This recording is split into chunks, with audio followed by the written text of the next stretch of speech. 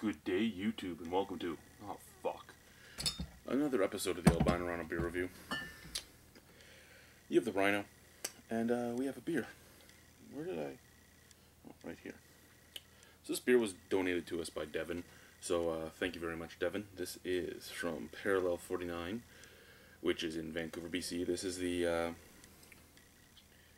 Gypsy Tears Ruby Ale. So, Gypsy Tears Ruby Ale is 6% alcohol by volume. Um, yeah, I guess we can save that cap. Gonna need a glass. Just pull this one up.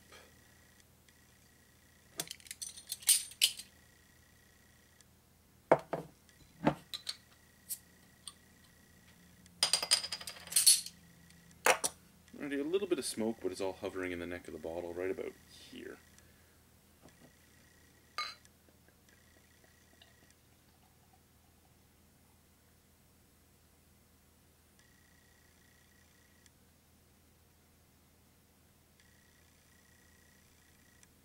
Sorry about the lighting. It's been a long time since I've done anything out of the bar. Just thought I'd do it. Uh, if I got rid of this sign, the lighting would be better, but I'm not going to. Um, as I was pouring it, it didn't look like it was going to be a good amber ruby, like a ruby color. Um, still not quite a good ruby ale. When I read ruby ale, I'm expecting a ruby red. Uh, it's a nice amber. It really is. It's like uh, it's like Rickard's red color if you're gonna quantify it as another beer. Like Rickard's red. It's not a bad looking beer. It's hazy. You can't see through it, which is nice. Uh, nice off-white head. It's fairly large. Uh, not very viscous. I mean, it clings to the side of the glass, but it slides down pretty quickly too. Um, hmm. Very, very malty. Very malty with a weird, uh, well, I shouldn't say weird. It's very malty with a very apparent hop profile. Mm, smells a little bit like grapefruit and a little bit like pine. I'm, I'm kind of smells like you know, like Cascade hops. Let's try it. Cheers, boys and squirrels.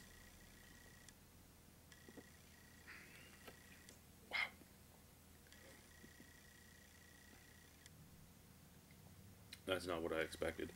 Um, going into a ruby ale, I expected a, a very, very malty beer. I expected a uh, beer with a lot of sweetness on the forefront.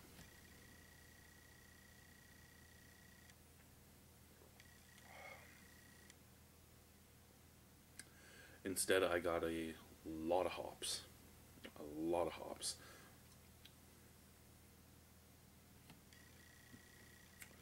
You get a touch of citrus. You get a touch of dirt. You get a touch of pine. A little touch of dish soap. And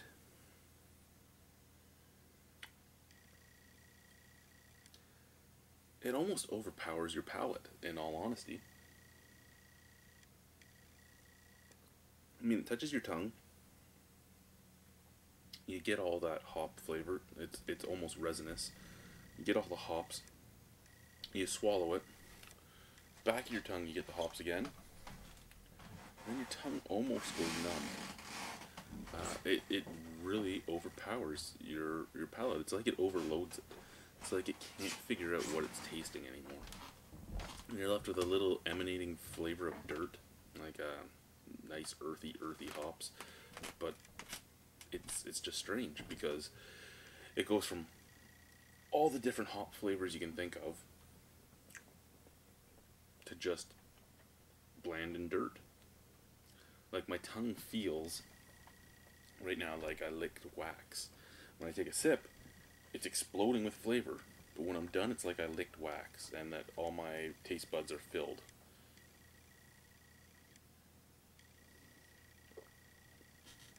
Bang, right there.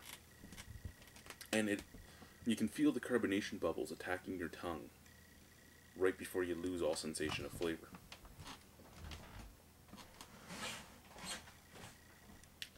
Think the only thing this beer is missing is a like it smells very malty, but it doesn't have enough malt in it to balance the flavor, and I think that's the only thing it has going against it. It's a hop bomb, but not any of the hops I really like, in all honesty. Um, six percent alcohol, cool bottle. Mm, you know what? I'll give it a six. I mean, it's drinkable at six percent alcohol. It's just weird. It's very weird. Um, pers- uh, you know what? I just gave it a six, but I'm going to take that away. I'm going to give it a five because just that sensation left on your tongue is just too weird. It is. It's it's just strange. If it wasn't for that, like if it didn't like overpower and overload my tongue to the fact that I don't taste anything, I wouldn't mind this. But it's just, it's flavor, nothing.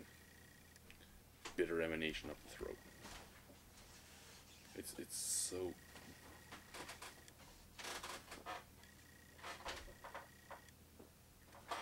Five out of ten. Thanks. Bye.